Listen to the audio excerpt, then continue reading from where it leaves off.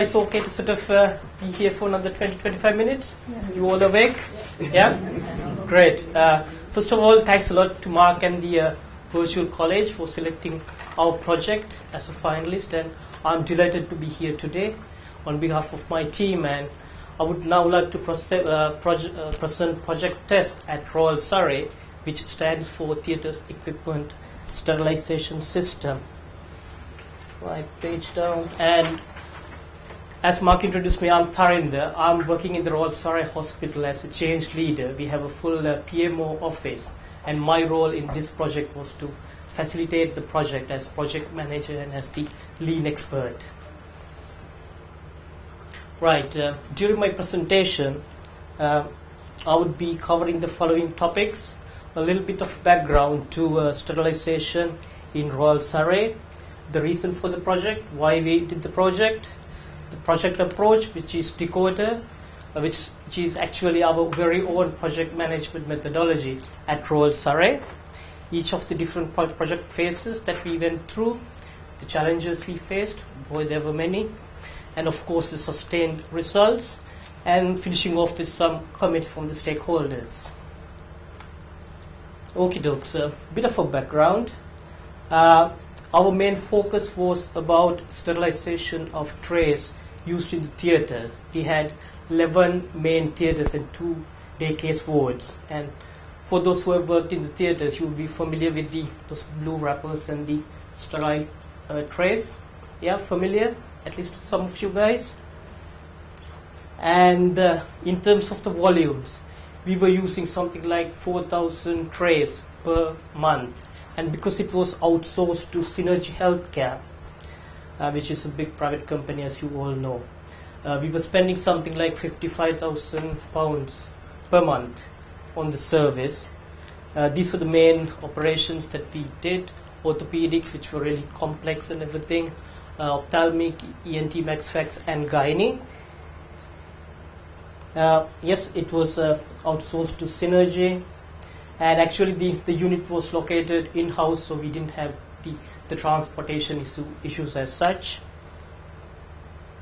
And also, it was launched under the Royal Surrey's TPOT uh, program, which is the, uh, the productive operating theatres. Reason for the project why did we start this project? Basically, we had long turnaround times but we were seeing was what gets used today wasn't ready for tomorrow. So that was a big issue. And of course, non-conformities or defects. We had lots of missing instruments from the trays. Sometimes they were mixed in between the trays, and there were also torn or wet wrappers, and that didn't make the staff's life easier. So they had to open more than one tray to do an operation, and which is obviously waste in terms of their time and the effort. And at the end, it was a patient uh, who was sort of suffering. Uh, and there was mistrust and blame culture between Synergy and the theatre staff. They weren't really seeing eye to eye. And because this has been go- going on for a long time, that was a big issue. And also the funnily enough, there was some miscommunication or misunderstanding in terms of who was responsible for the supply of steam, which was critical for the autoclaves. And because of that, whenever there was an interruption, nobody turned up to fix it, so there were long delays, and that was that had a major impact on the turnaround times. And then there was a change in theatre management, which suddenly brought up all these is- issues. And then at the end, there was this poor theatre's manager who was getting all the complaints and he wasn't very happy. Uh, these were the simple but challenging project objectives we had. Provide uh, sterilized instruments to theatres when, when they were needed in correct quantities and uh, without any missing items. Streamline processes, obviously, and with uh, increased traceability and accountability who is doing what, and of, of course, improved communication. And these were the, the KPIs that we identified. Obviously, the, the turnaround times for the fast track and standard track items, defects, uh, spending off-site processing because every time we had disruptions, what Synergy used to do was they used to send their kit outside, so we got charged something like thousand pounds every month, and of course uh, staff satisfaction, which is paramount. The approach we used was Decoder, which is our own uh, problem-solving methodology. It's simple to use. Uh, it basically has six stages of phases, starting off with define where we focus on the team, make sure that they are all aligned to the goals and objectives. Establish is all about finding what's going on at the moment. Create, we test our creativity and problem solving, where we try to develop solutions. Organizing is a lot about project planning and again communication. Two is the fun bit where you sort of implement all the changes. Not very fun sometimes. And ENR, which is the uh, the final stage, and I think this is one of the most powerful phases because we look back at the project and see what are the lessons learned and can we identify any more uh, improvement opportunities. I'll quickly run through what we did in each of those phases. In define, the main thing we did was we talked to the customer to capture what we call the voice of the, the customer. So I think that enabled us to focus on the main areas where it's going wrong. And we also agreed project objectives and of course the, the KPIs. Established was a lot about Gemba, walking the process. And this was, I think, really uh, important because for the first time, most of the staff saw the whole value stream for the first time, and that actually opened their eyes. Oh, there's this much waste going in in the process, and actually they identified some real quick and easy wins. Uh, create all about brainstorming and creating solutions. These were some of the uh, the quick wins that the guys identified. We started uh, the synergy supervisor started to come up to theatre every morning so they, they could discuss the issues then and there. Uh, the sterile storeman was given access to the online tracking system that Synergy operated, so he could actually see actually in which phase the tray was, and then he could estimate, okay, in two hours or three hours time, this could be available. We actually arranged cover for the sterile storeman because whenever he went on leave, there was no one to cover him, so we trained two HCAs. And of course, we educated staff, especially the theatre staff, on how to handle sterile equipment, especially in accordance with the WHO checklist, doing pre and post op checks.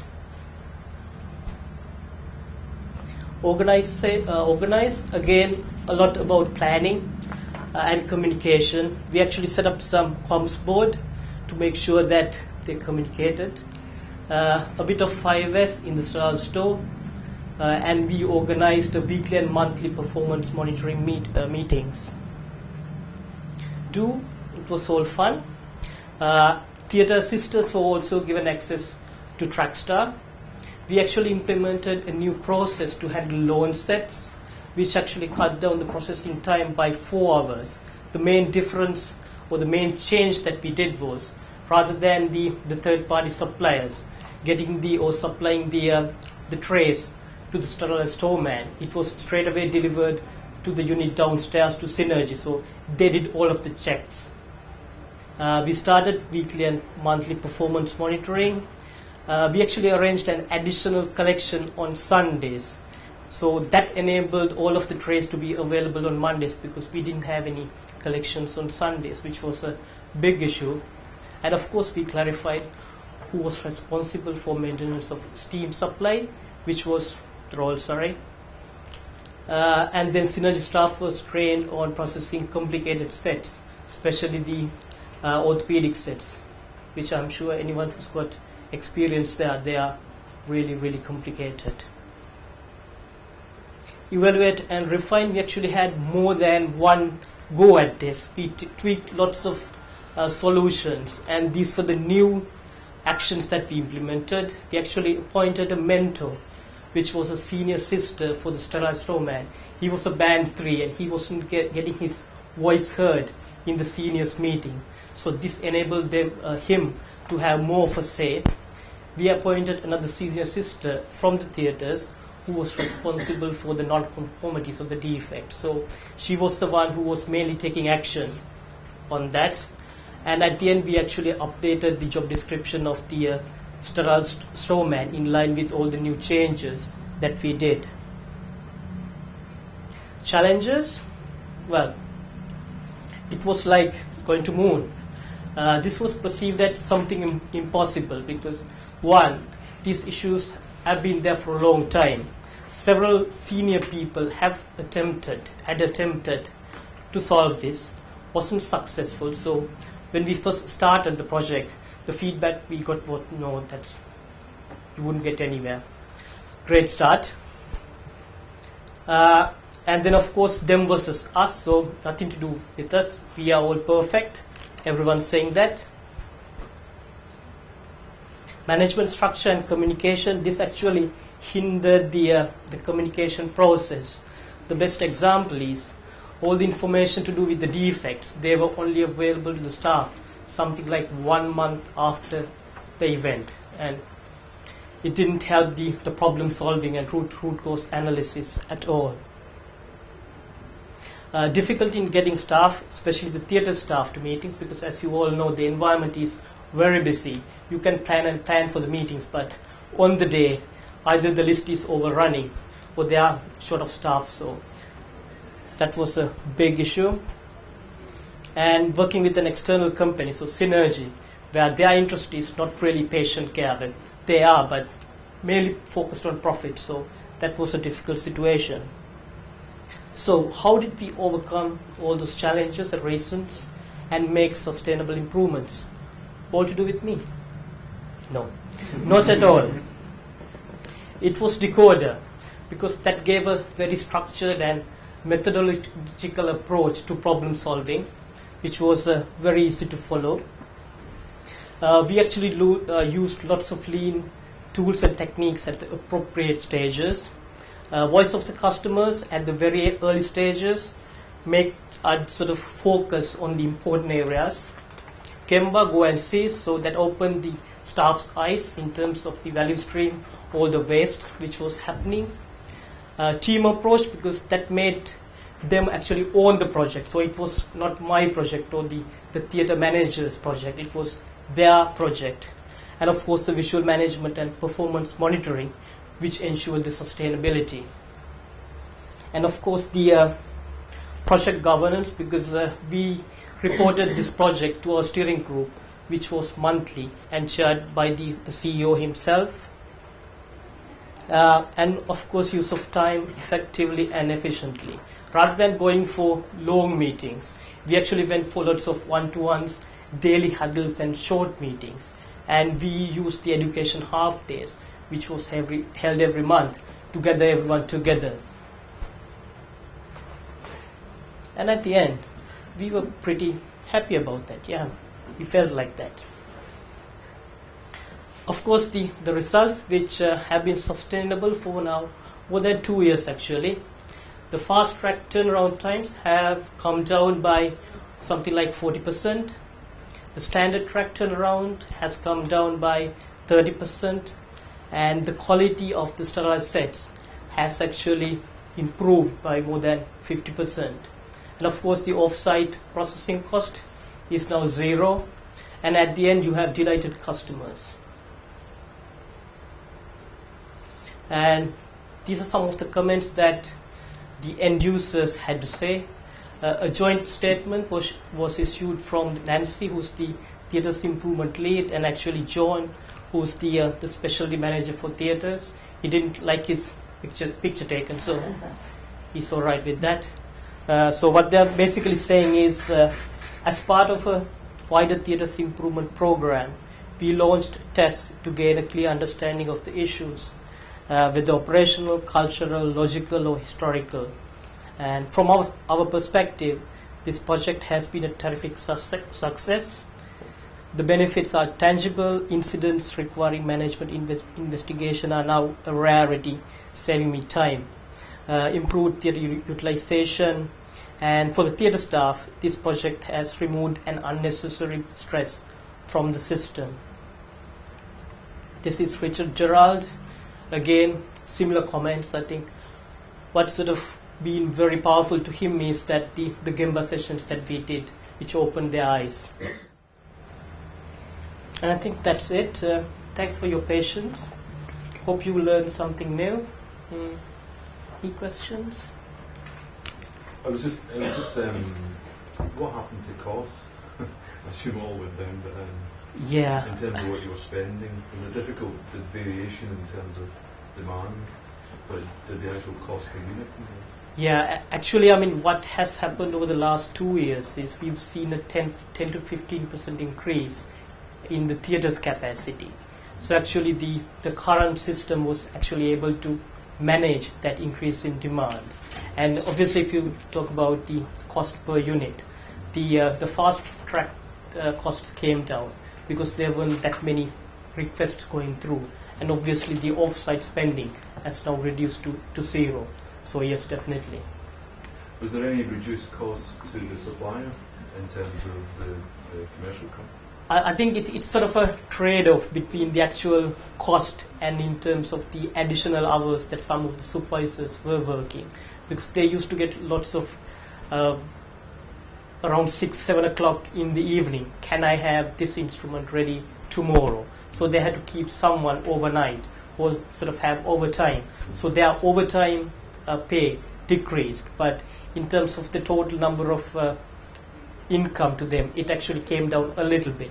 But they were happy in terms of because it was sort of breaking even.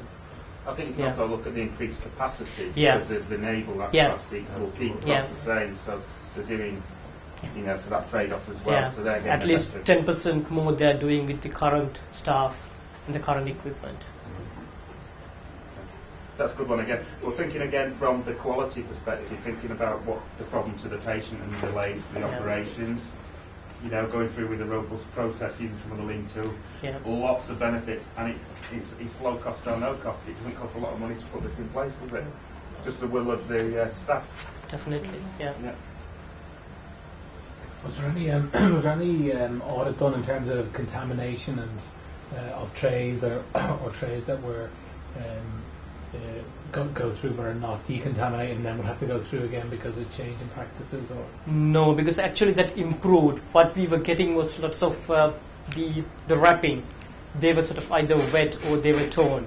So actually that reduced dramatically, and that was sort of lots of improvement in terms of the turnaround time and obviously the cost. And they were doing lots of checks in terms of the WHO checklist to make sure that they are sort of there. Yeah. Did you do any audits around um, cancelled ops and the impact on 18 weeks through not having Yeah, work not specifically, but obviously there would have been an impact. That could be one of the new things that we could look at. I'm just but yeah, from a patient experience. Yes, yes, yeah, yeah, revision yeah, and your, your yeah, yeah. Because we had lots of sort of near misses. Nothing was actually cancelled, any ops, but loads of near misses because they would find the instrument somehow rather than uh, cancelling the op. Yeah. Yeah.